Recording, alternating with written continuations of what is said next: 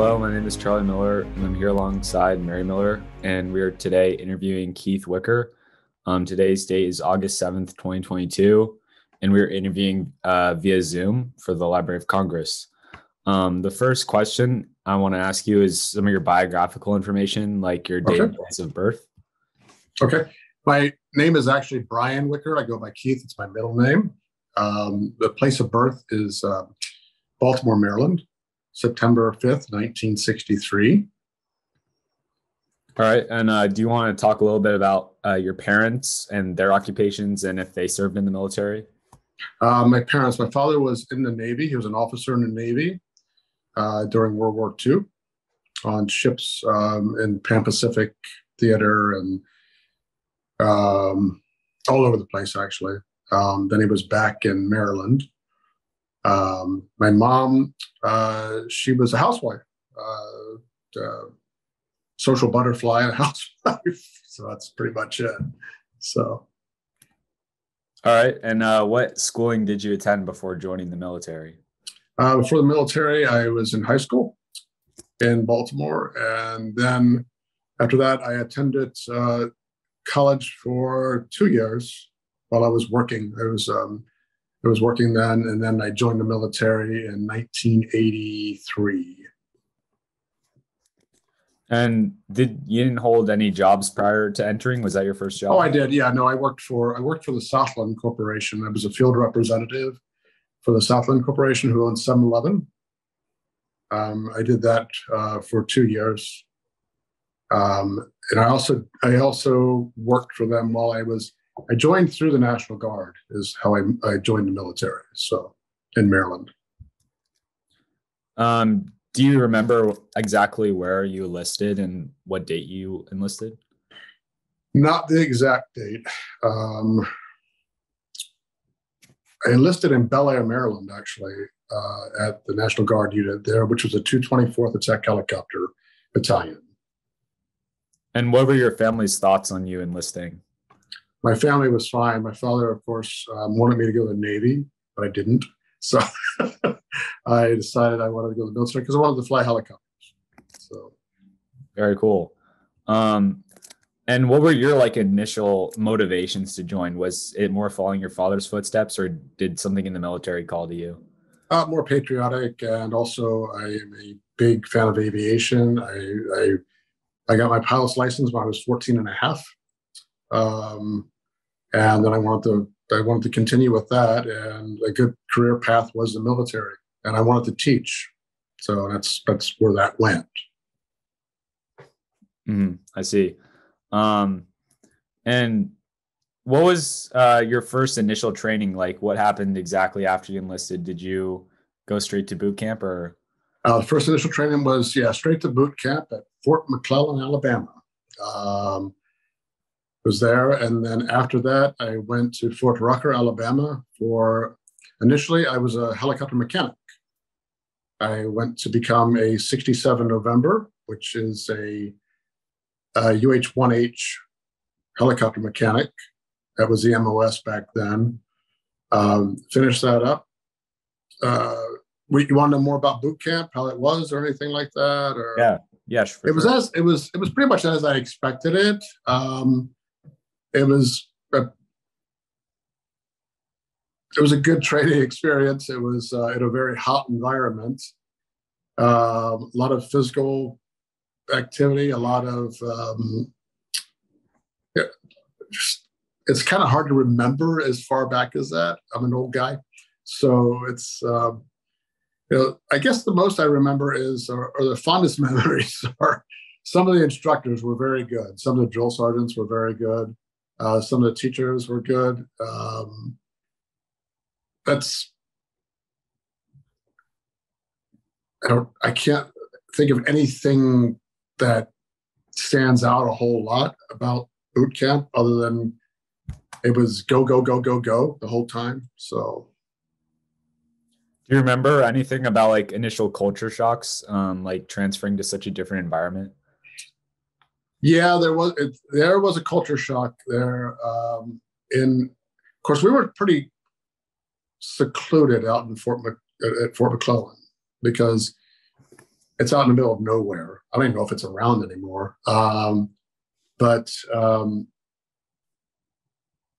culture shock with within being with a lot of different people, different from different backgrounds. Uh, that was that was pretty shocking. Uh, uh, just, I guess, just just that different people of um, different backgrounds, different um, different lifestyles, different different colors. Um, that's that's it. So. Hmm.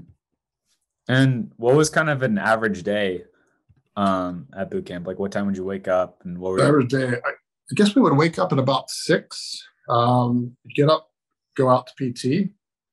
Um, it was dark when we would go out at first. Uh, go out to the PT field and begin um, with calisthenics, and then we would run after that. Um, and that that pretty much was every day.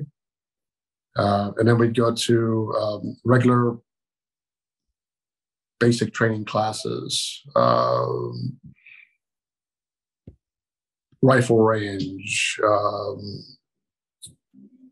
navigation. Uh, trying to remember all the other things they taught during that time. Um, hygiene, you know, it's a very, very basic stuff. A lot of very, very basic stuff, and you know, and like the rifle range and uh, the grenade range. Um, a lot of outdoor stuff, a lot of bivouac stuff where you were outdoors and camping. Um, so. And did you come in with a lot, um, maybe more knowledge, for lack of a better word, since you had your um, pilot's license at 14 and a half? Um, it sounds like you were kind of well on your way to knowing um, which part of the military you, I guess the Air Force that you wanted to be in. Uh, the Army, yeah, but no, Army, um, sorry, yeah. Yeah, um, we're talking about basic training, but um, pilot training is when I went to Fort Rucker, um, and that's um, and that's when it became fun. So, basic training is no fun. So but um, at Fort Rucker is when uh, Fort Rucker, Alabama, which is down in the Panhandle of Alabama, uh, is when we got to start flying and got to go to ground school and yes, my training prior did help a lot. But I had a stint between um, between basic training. I went to I went to um, training to be a mechanic. Um, then I went back to Maryland and applied for flight school into the warrant officer program. And that's when I didn't I didn't even get to turn a wrench. Basically, I got back to I got back to Maryland, applied for flight school, and then got accepted very quickly. And that's when I basically I wasted my time going to mechanic school, which I loved though. I, I, I loved going to the mechanic school, but um, I guess they wanted that progression, which really helped. It really helped in the um, knowing the mechanics of the aircraft before you actually got to fly them. So. Mm-hmm. And where was your uh, where was your flight school again? At Fort Rucker, Alabama. Okay. Um, it's in it's in Dothan, Alabama. Uh, Daleville, actually, it's a Daleville, Dothan area in Alabama. So. And what was uh, I guess what were you learning in the flight school that you hadn't learned with your pilot's license already? Well, helicopters are totally different. I, I learned fixed wing originally. I flew fixed wing originally. Um, it's when I got my pilot's license um, in, and then I did a bunch of cross countries and things like that. Um, and then during flight school, you learn helicopters. Um, I started out in the uh, the Hughes very small Hughes 369 aircraft. It's uh, looks like a little bumblebee. The military stopped using those about two years after we learned in them. Uh, they went to a different helicopter. Um, and then from that point, I went to the UH 1, which is a Huey, which was the Vietnam era aircraft. Um, and that's where I learned um, most of my flight in, in flight school. was the UH-1. After that, um, I came back to Maryland and I mean, we, uh, I don't know what you, how in depth you want all this, but I can go, I can talk forever. But I, I know you have other things to talk about or, or move on to. Um, you know, basic aircraft flight was taught at Fort Rucker. Uh, in the UH-1, we went through um, Warrant Officer Candidate School, which was um, it's a pretty tough school. Uh, every day is like again, it's like basic training, but you're going to flight school at this point. You're getting up early, early. You're going to uh, schools to begin with. Uh, you're learning basic officer stuff at that point. Um, then you're taught ground school. Uh, a lot of uh, physical training during that time also. Um, you're dealing with um, TAC officers, uh, tactical training officers um, that are other warrant officers that are training you. Um, and then you go to your, your flight school, which um, during that time, flight school was taught by civilians. Uh, they had civilian contractors that taught um, a lot of the ground school there um, that had been there forever, that were prior um, military, but they went into becoming um, civilian instructors down in Fort Rucker. Um, after that training, completed through warrant officer course and everything, and um, then I came back to Maryland again. Uh, flew for a while there. Then I was sent back down to Fort Rucker for attack helicopter training.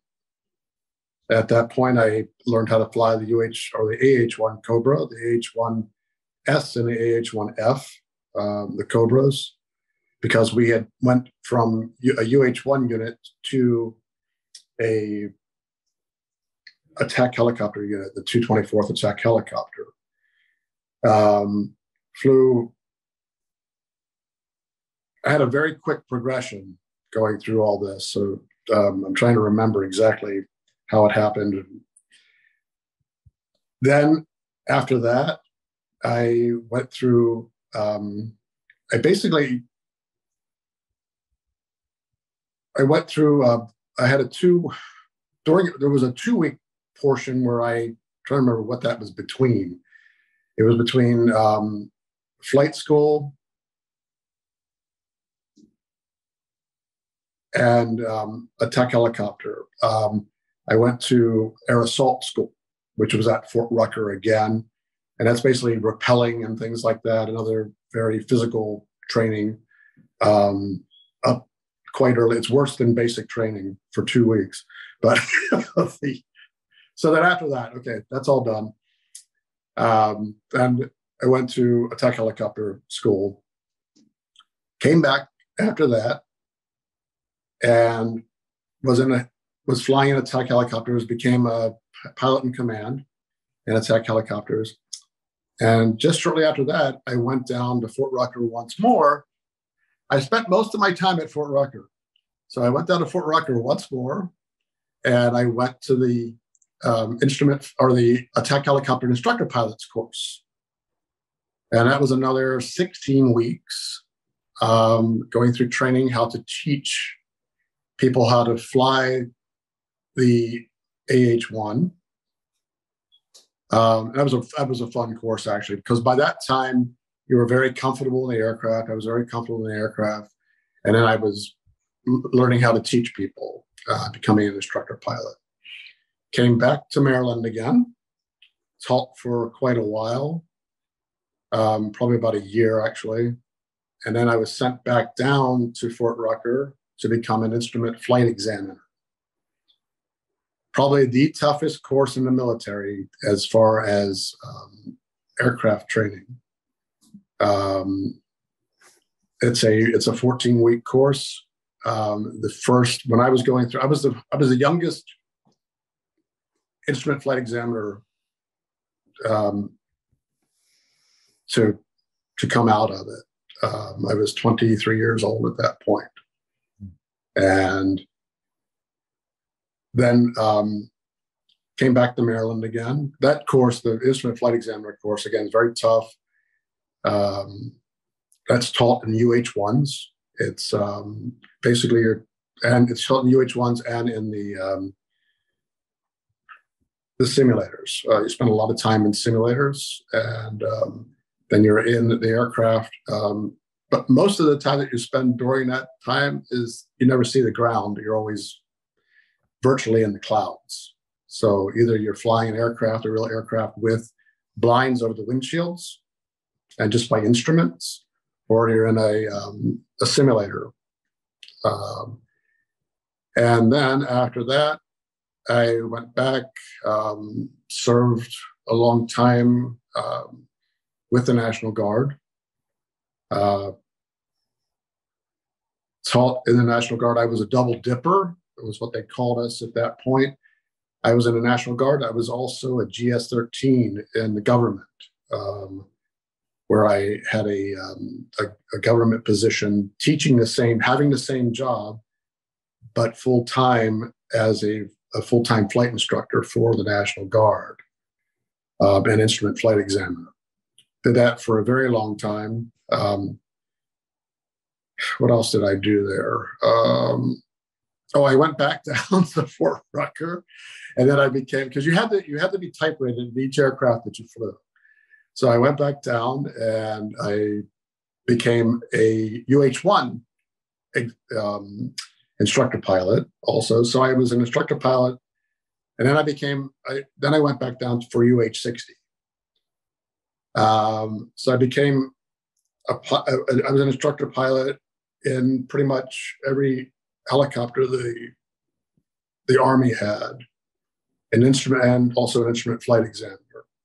So um, did all that, and then that was all in Maryland. And by that time, in 2000, uh, or actually 1997, um, I'd finished up there and moved to Durango, Colorado.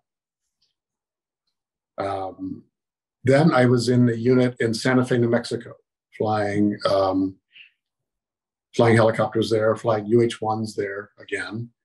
Um, gotten out of the attack helicopter. I was in a, um, a medevac unit at that point.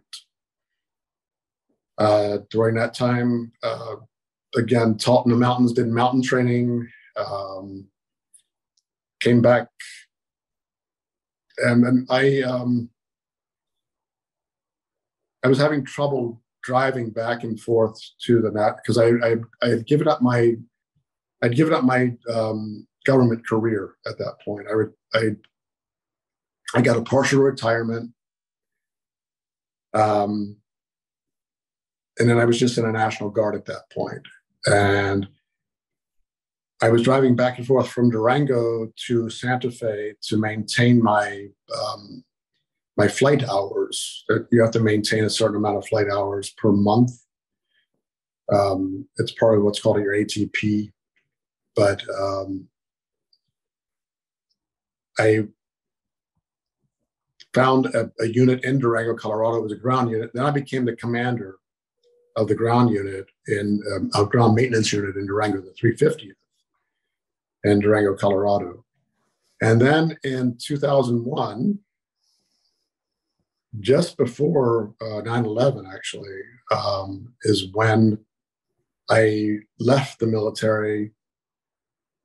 Um, I'll tell you the reason for it. Um, my my partner at the time, you know, all this time we're talking, I'm gay and in the military.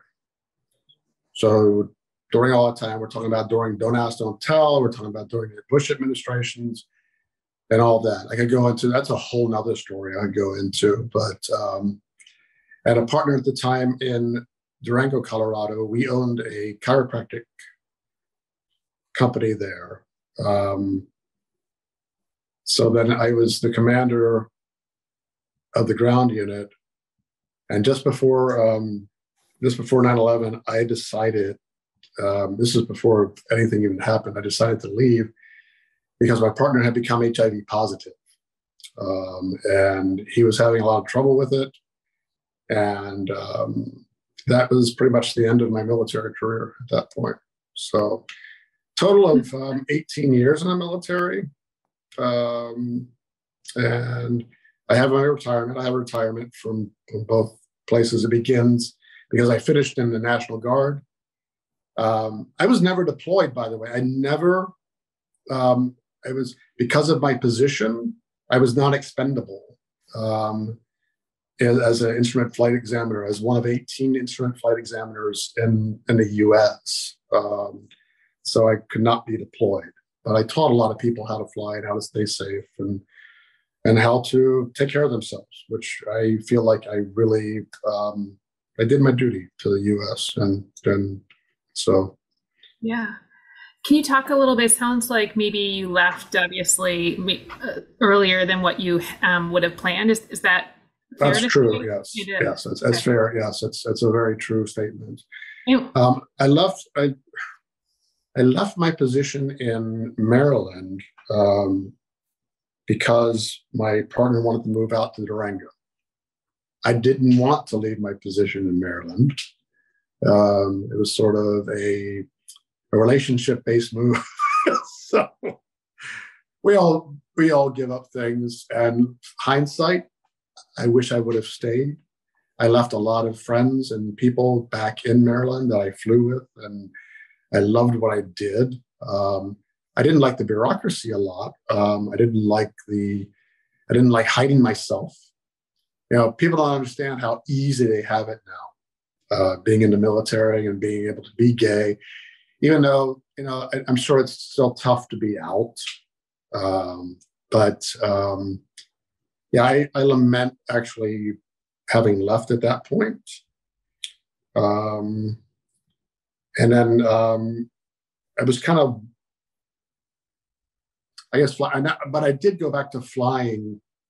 Um, I went back to flying privately in Durango, which was kind of cool. Um, so uh, at least I got to fly again. But I was uh, being a ground commander as a warrant, as a chief warrant officer. You know, it was funny because they were like, "Oh, you'll never have to have a command as a warrant officer." Okay, that's cool. You just get to teach and fly and everything. Bam! I was a that I became the commander of the ground unit there. So um, I'd love to maybe just ask when you say um, lament leaving, is it fair to say lament leaving partly because it did get easier for people who were in the military? Or I was, you know, the I lament it because I loved my career. Um, I was pretty much out back then um, and i was before you know because I was in the transition of Don't Ask, Don't Tell. People knew about me, and being in being in aviation, aviation there are a lot of very smart people, a lot of very progressive people. Um, it's a different it's a different group, um, and I had a couple friends that were also in the military um, that were that are gay. They're uh, another retiree that I know, and she's um, she's been her partner partner ever since. Um, we I knew her back then, um, and we still maintain friendship and everything. But uh, she's back in Maryland. Uh, she's also a um, she's a dirt track racer, and she's my age on, on motocross. but I'm always like, Lisa, you're gonna hurt yourself one day. But she's, but anyway, I, am I'm, I'm digressing. But um, I think that I could have kept it hidden, but I didn't want to keep it hidden. Um, it was it was certain groups you you know that knew, certain groups that thought, and certain groups that it went over their head.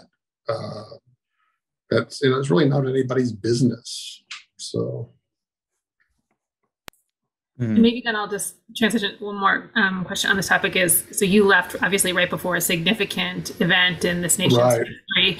Um, can you maybe even just talk about probably to be on the outside looking in after 20 plus years in the military, maybe how that felt as well? It was tough. Um, because I remember it like it was yesterday. I was at the chiropractic office and um, in Durango and Ignacio, actually outside of Durango. And um, I had a call in from a patient that asked, um, Hey, Keith, you were in the military. What's going on? I'm like, What? Because I hadn't heard anything. I, like, turned the TV on, and that's when it was. And I was like, Oh, God. I, um, you know, it was like, and I had just, I had just left. I had, I had just left the military. Um, like two months prior, actually. Um, and um, I thought, you know, I'd love to go. I would love to go back to Fort Rucker and teach again, maybe. Or, but my life had changed so much at that point because of my um, my partner at the time uh, becoming HIV positive and everything else that went on with that. Um, so um, yeah, I um, I just hope that I taught the people that went there enough. And I, I do have stories that came back to me about, you know, I was there and what I thought about was what Mr. Wicker had taught me. So, which is kind of cool. So, hmm yeah, that's very cool. Um, just transition a little bit back to, I guess, that don't ask, don't tell side of your history. Um, I'd like to learn a little bit more that about that. Um, I guess you obviously said in the beginning you're very patriotic, but I'm kind of wondering like what motivated you to keep serving something that I guess as a majority was almost anti of your lifestyle and um, your sexuality. I guess how did you continue to to fight for the military when they were, you know, so homophobic? because I was very good at what I did. And I knew it. Other people around me knew it. Um, my, I have a funny, I have a quick funny story. I was, when I was at Fort Rucker, Alabama, and teaching, I had a, my, my base commander, uh, General Bunting, um, anyway, I had a I had a student that tried to bring me up on sexual harassment charges as female student. And I had failed her on the flight eval and all this, and she brought me up on sexual harassment charges. Um, saying that I had made passes towards her and things like that, because you know she was not doing so well in her school. So my general brought her in and said, you know, I know Mr. Wicker, I know he wouldn't do it. And that's all there is to it. And you're out of here. He knew about me. So that was kind of a cool story. Um, the as far as uh, being patriotic, I don't think, you know, because of being gay and being patriotic are totally two different things. You know that and um, I would still fight for my country, uh, even knowing that they didn't want me in the military. Um, I would have I would have fought um, to maintain to be in the military. I didn't have to do that though, um, because of my position. I think people just left me alone, um, and because of my position, I was able to um, I was able to maintain it being basically being indispensable. You know, um, I don't, I don't know I don't know where to go with that because it's it's like you're saying knowing people that didn't want you in there. Well, there were people that knew about me that really revered me, um, and I know of a couple of people that reviled me too, but um, I, you know, I was called a faggot by one of, I was called a faggot by one of my um, fellow warrant officers in the military, and it still sticks to me this day. But I got to fail him on a check ride. For it wasn't because of that though, because he couldn't pass. But you know, it was just it's we should we should probably take that out of here, but that was No uh, uh, that wasn't the reason I failed him though. That wasn't I, I still, you know, it's it was a professional thing, but you know, it was it was kind of a little zinger that I was able to, you know, and not pass him because he couldn't pass. But he also called me a faggot at one point.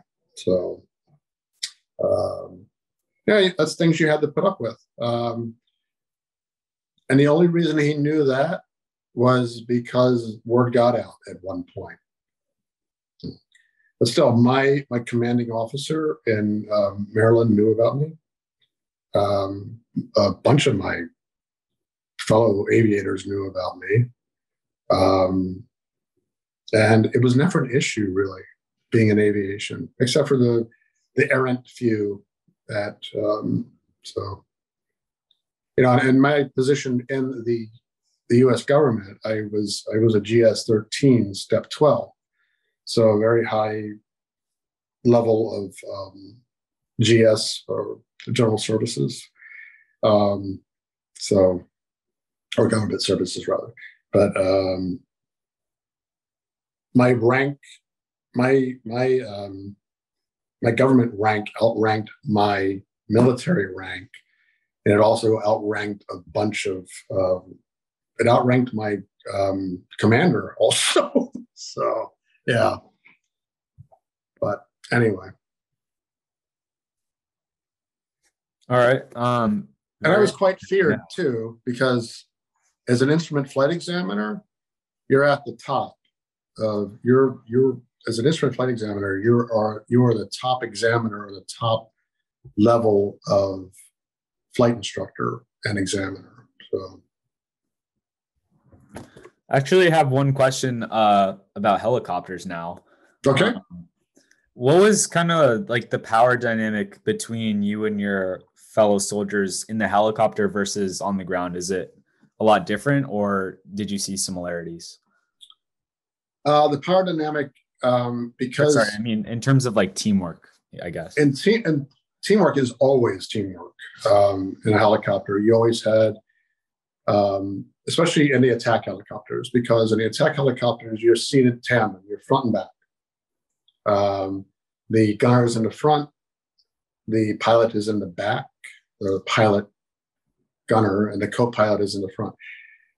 As an instructor, I taught from the front of the helicopter, and the um, in the Cobra and the Apache, they're taught like that, um, and you have to know what the guy in the back is doing at all times. Basically, it's instinctual because you've you feel him on the controls because he's on the same controls as you are, but a separate set, of course. And you're always ready to take over and things like that. But um, by the time you're teaching these people in helicopters, in in attack helicopter stuff, they've gone through a lot of training. Um, as far as the as far as the power dynamic, being an instructor pilot and being being a um, instrument flight examiner, even on the ground, people like they revere you because you've been through a lot. You've been through a lot of training. Um, they come to ask you all kinds of questions, all um, anything that deals with the FAA or with um, flight dynamics. I mean, I taught ground school. Um, it's just it's um, so you, the dynamic was pretty much the same on the ground and in the air. I mean, we had fun. Um, we'd go out and cut up and everything. Back when I drank, I don't drink anymore. But the um, it's um,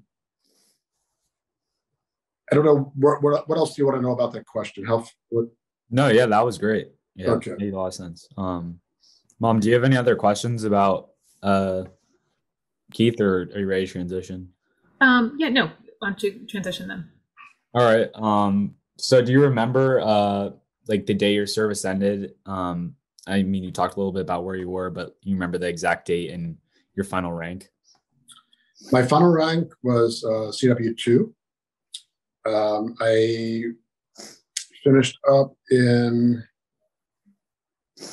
March of 2001 um, at Durango, Colorado. Um, I did all my paperwork with um, my staff sergeant at the time. Finished all that up with um, Staff Sergeant uh, Travis Parker.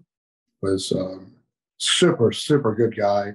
Um, you know, as a commander, that's the person you lean on is your staff sergeant, um, and he basically he basically did all my work for me. So,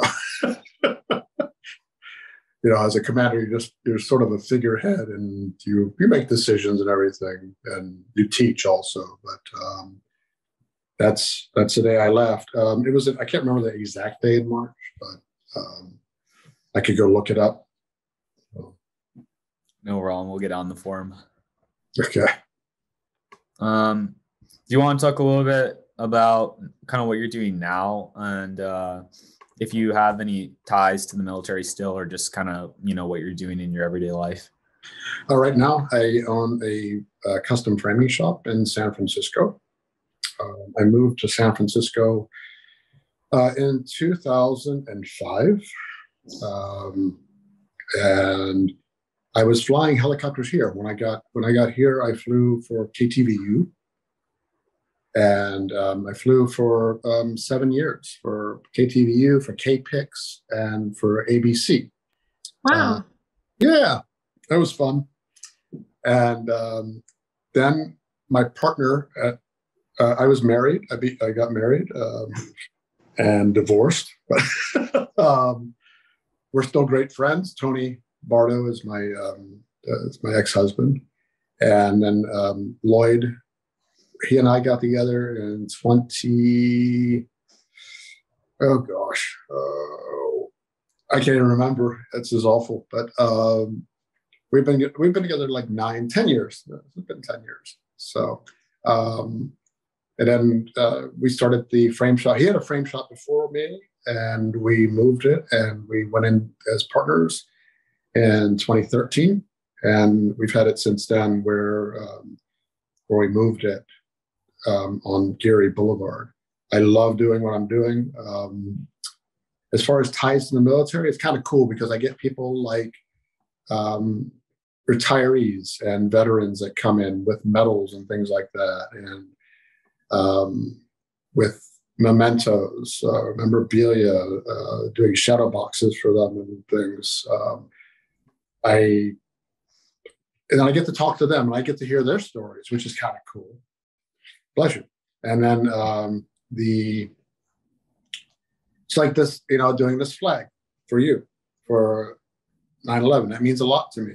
Um, it means a lot to um, to do that because of what the memory is and what you know what happened and uh, what a day it was for a time for for America. There's that.